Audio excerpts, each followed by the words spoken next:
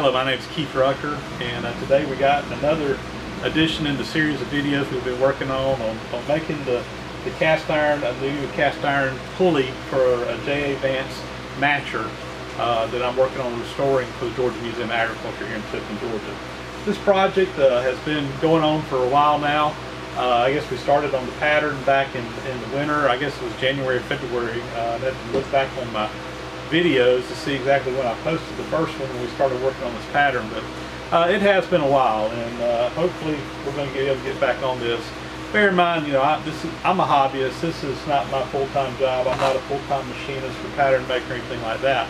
This is kind of my my vent, my relief, I guess, uh, to to just enjoy life. So. Um, you know, I, I, just get to work on this stuff when I have time. And, and, quite honestly, over the last couple of months, we've had a lot going on. And uh, my wife and I just recently uh, purchased a new home, and we've been trying to get moved in. And uh, as a result, just haven't had a whole lot of spare time to, to work on this project. But uh, we did send the patterns off to Cattail Foundry, which is a little Amish foundry up in um, uh, Ohio, I think is where it's at. I'm trying to remember, but anyway, they, they specialize in doing little small one-off casting parts and have done a lot of casting for me over the years. Um, but back probably a month or so ago, we got a package back in the mail from them and, and received the, the castings. And you can see here are the two uh, castings that were made from the pattern uh, that we sent them. And uh, you can watch the previous videos on how we did that and how that all worked out there.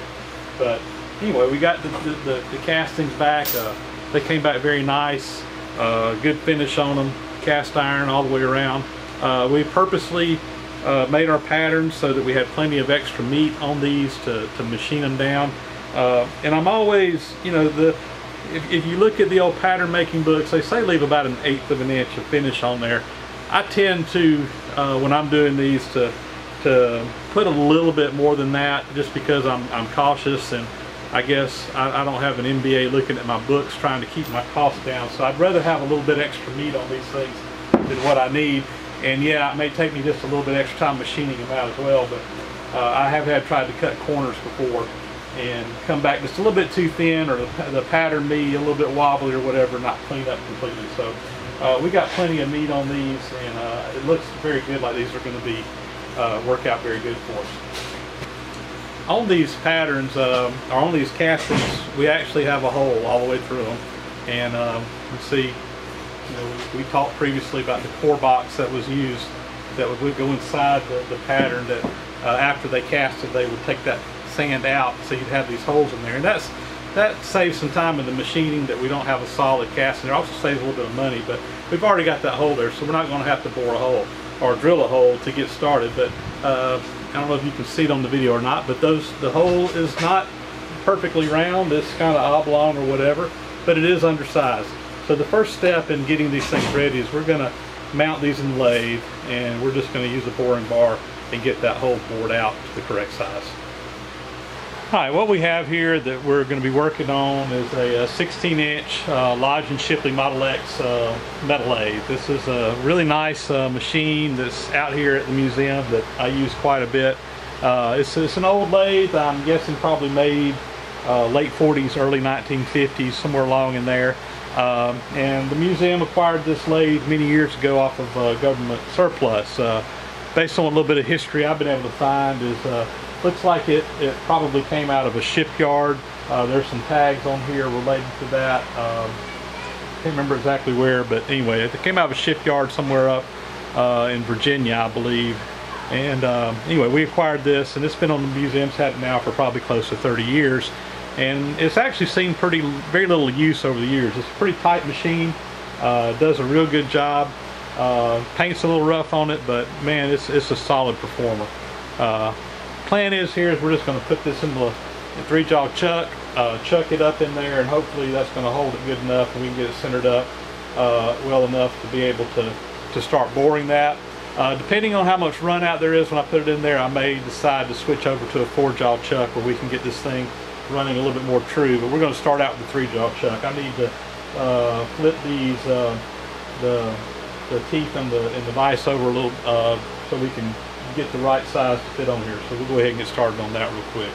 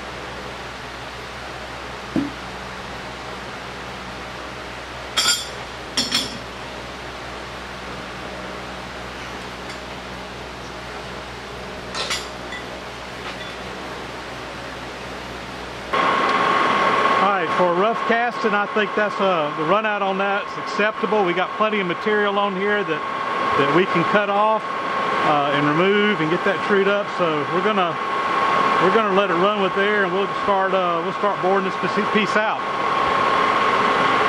Recording. There we go. All right, so to bore this out, we're to use a boring bar setup, uh, kind of like this right here.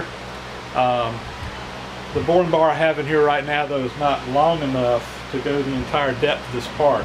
So I've actually got a longer boring bar.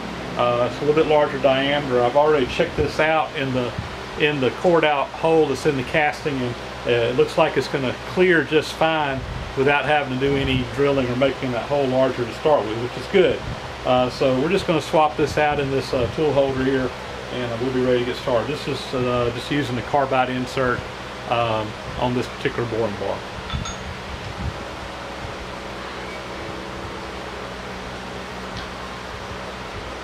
All right, now what I'm going to do is I'm going to turn the lathe on uh, just a low RPM. I'm going to just feed this through here and make sure that basically we're clearing the entire part without getting any contact. And then I can find in there um, where we're starting to get some contact and that'll be where we start boring now. So we'll fire the machine up and go from here.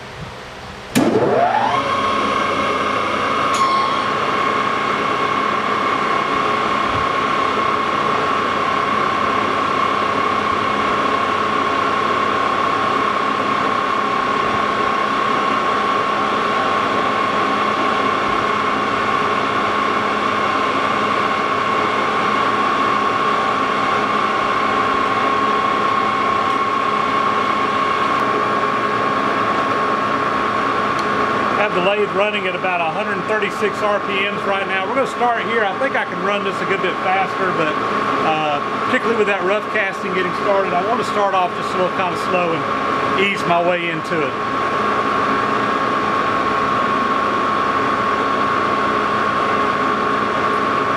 Feed this in until we just start to get some contact.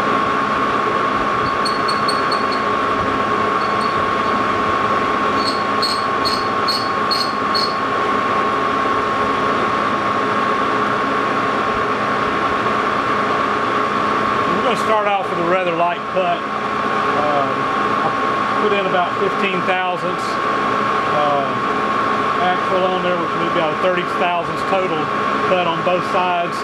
And uh, let it go from there and just see how things sound.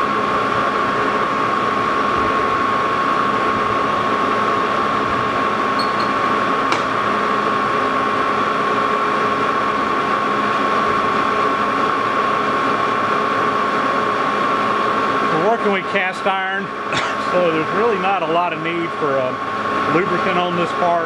Uh, so we're just going to run this dry.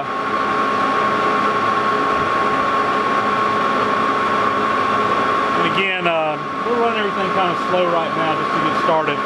Um, I don't like to make a real heavy cut when I have a interrupted cut on the inside of there right now. And until we get that thing cleaned up uh, and, and pretty well cutting all the way through the bore. I, am just going to take it slow and easy.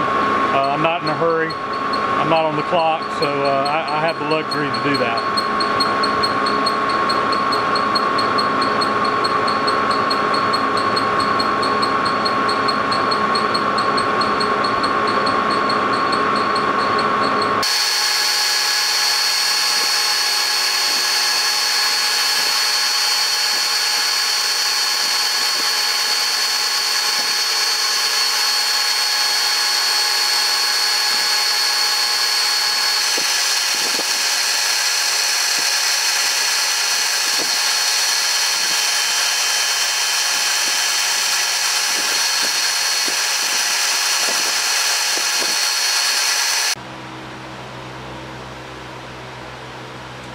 We've made a couple of passes now with the boring bar and um, the hole's not completely cleaned up but at least got it round enough now that I can get a measurement in there and see where we're at so uh, what I'm going to use is just one of these little uh, telescoping snap gauges that uh, put down inside that bore and uh, just kind of get a rough idea of where we're at.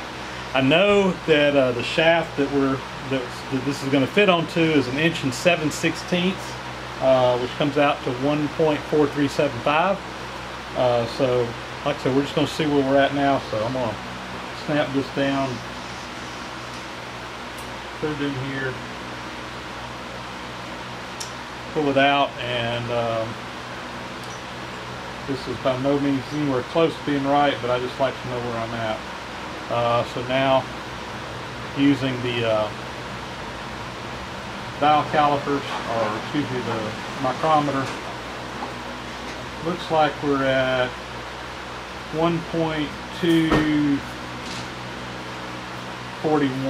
so just a little under an inch and a quarter. All right, we've sped up the speed a little bit on this now. We're running at 295 RPMs, which was uh, about half again as fast as we were on the last pass. And this seems to be cutting good, sounds good. And uh, we're down right now to only about 100 thousandths left to cut. I'm still cutting about uh, 40 thousandths per pass right now.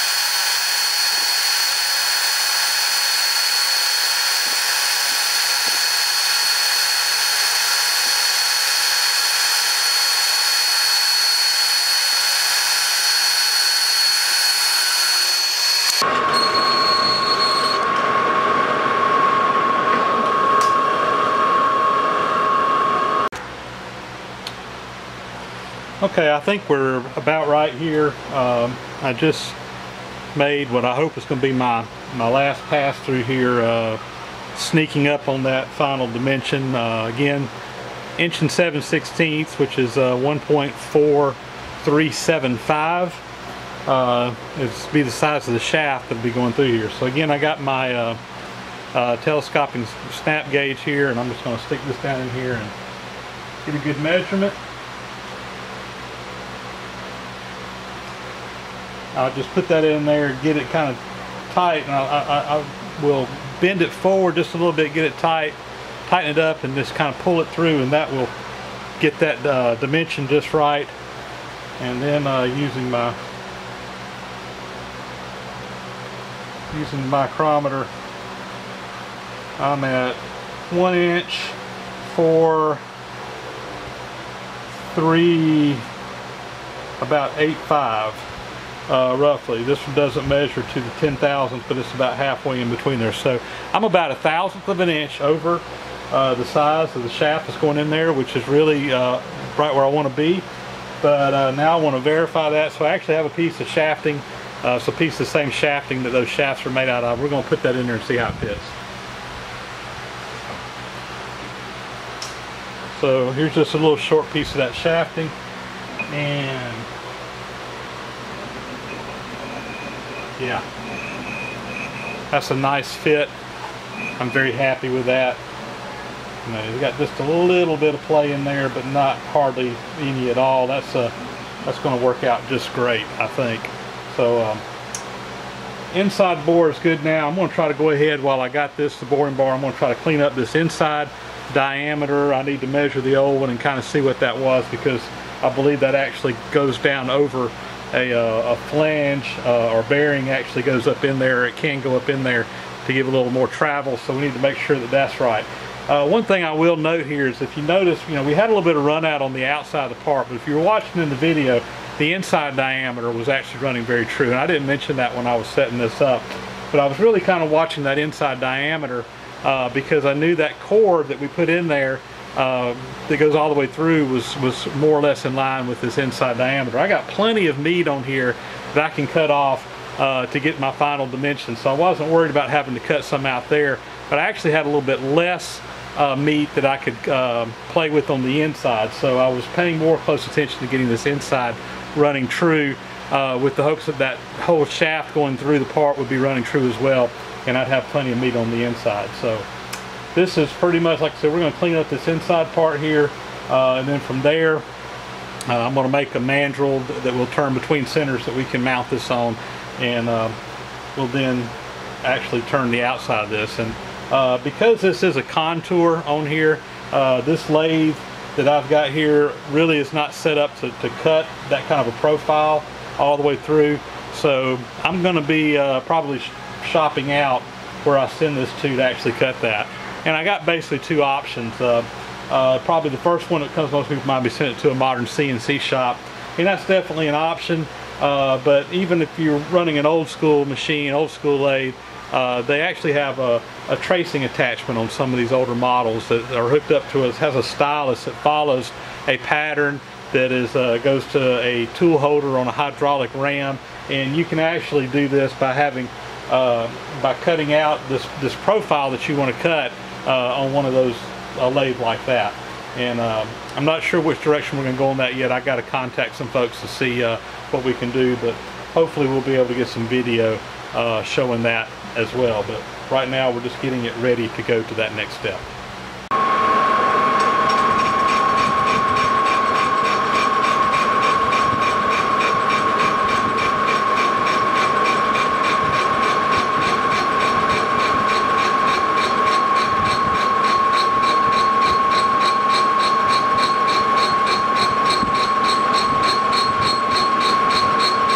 good example of you can see that tool flexing where we're not making an even cut right now. It's still uh, got areas in there where it's rough casting exposed and we're making a full cut. But uh, you can actually see the, uh, the tip of the boring bar flexing. Uh, that's what I'm talking about. You have to be real careful and sneak up on these final dimensions.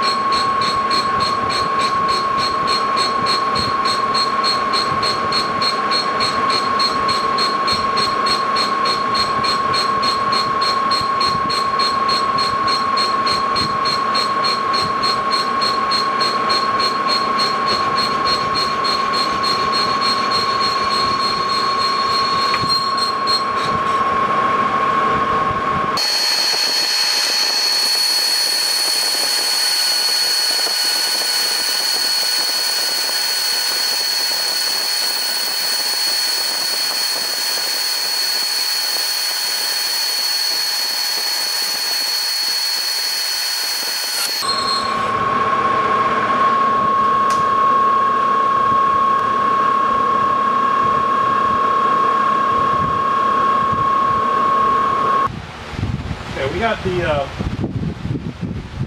castings pretty well done here on the inside with the inside bore as well as uh, machining out this inside surface.